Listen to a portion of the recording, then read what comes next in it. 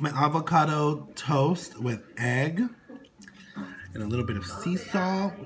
And then I have my coffee over here. Good morning.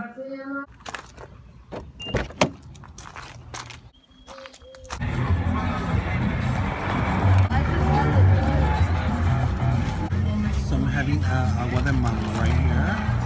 So delicious. Dad's having a Mexican Coke.